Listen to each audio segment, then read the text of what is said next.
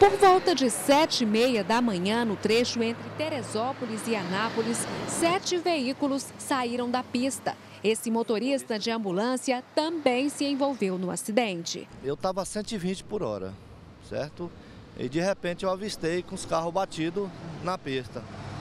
Aí eu tentei parar e ela não segurou, já começou a dar a primeira rodada. Tudo indica que o acidente foi causado por derramamento de óleo na pista.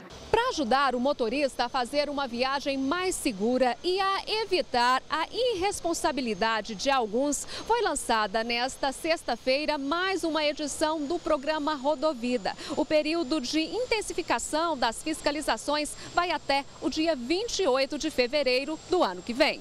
Nas últimas duas edições, 2015, nós conseguimos reduzir em 29% o número de acidentes graves, 16% o número de mortes. Evidentemente que foram ainda 973 mortes no ano passado. Em 2015, 1.254. Há uma redução significativa, porém o número continua alarmante.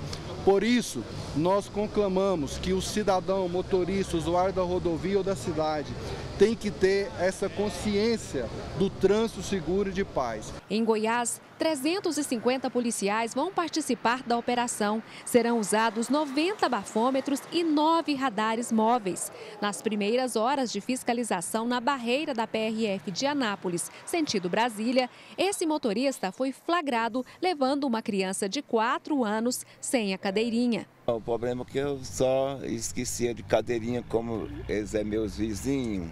Aí tive que deixar eles lá na rodoviária que eles vão viajar para Minas. Esse outro motorista estava a 150 km por hora. Não, carro pede estrada boa dessa, né? A gente corre. E o pior, sem a carteira de motorista. Tenho.